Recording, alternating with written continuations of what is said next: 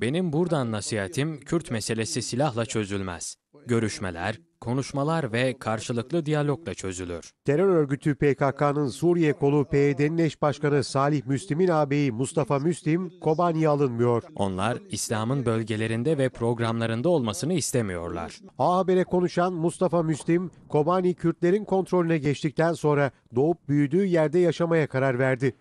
Tefsir profesörü olan Mustafa Müslim, çalışmalarına kendi memleketinde devam etmek istedi ama PYD tarafından Kobani'ye alınmadı.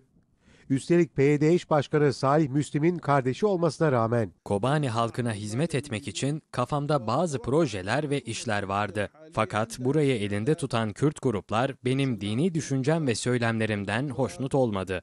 Ben de oradan ayrıldım. Tabii ki onların benden farklı bir programları var.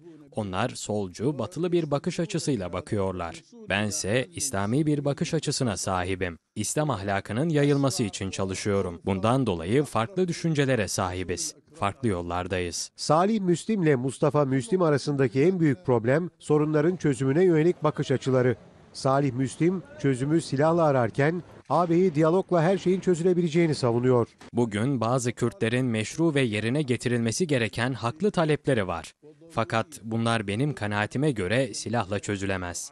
Tam aksine diyalog ve karşılıklı anlayışla çözülür. İmanın gölgesi altında kardeşçe oturarak bunlar çözülür. Allahu Teala Müslümanların kardeş olduklarını söylüyor. Madem ki kardeşiz, o zaman İslam kardeşliği çerçevesinde Kürtlerin dertleri dinlenir ve hakları neyse verilir. Ben bu konuda Türkiye hükümetinin de Kürtleri dinlemeye, konuşmaya ve gerekeni yapmaya hazır olduğunu görüyorum. Bu şekilde Kürtlerin haklarını çok çabuk ve doğru bir şekilde elde edeceklerine inanıyorum. Suriye'de yaşananlara da değinen Mustafa Müslim, Rusya ile Amerika Birleşik Devletleri'nin planlı şekilde hareket ettiğini söyledi. Suriye meselesi kendi halkının elinden çıktı. Artık büyük devletler onu kullanmaya başladı. Rusya ile Amerika arasında da rollerin değişimi konusunda bir anlaşma var. Bu anlaşma kendi lehlerine, Suriye halkının sağ aleyhinedir. Amerika, Müslümanlarla ve İslam'la savaşıyormuş gibi görünmek istemiyor.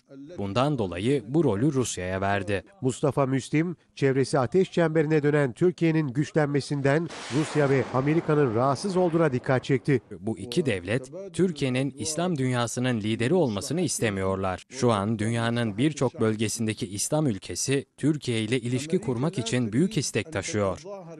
Bugün birçok İslami kesim için Türkiye büyük bir umut oldu. Müslümanların sığınacağı bir liman haline geldi. Tabii ki bu onların çıkarları için tehlikeli. Bundan dolayı Türkiye'yi frenlemek için sıra bekliyorlar. Tıpkı Mısır'ı vurdukları gibi Türkiye'yi de vurmak için fırsat kolluyorlar. Bundan dolayı Türkiye'deki kardeşlerimizin bu konuda uyanık olması lazım. Mustafa Müslim, Kürtlere de çağrıda bulundu. Buradan Kürtlere ve özellikle YPG'ye şunu söylemek istiyorum. Sakın İslam düşmanlarına güvenmeyin. Çünkü Kürtler tarihleri boyunca çok kişiye güvendi. Fakat her defasında yalnız başlarına kaldılar. Bugün bazı Kürt gruplar veya partiler Amerika'ya veya Rusya'ya güveniyorlar.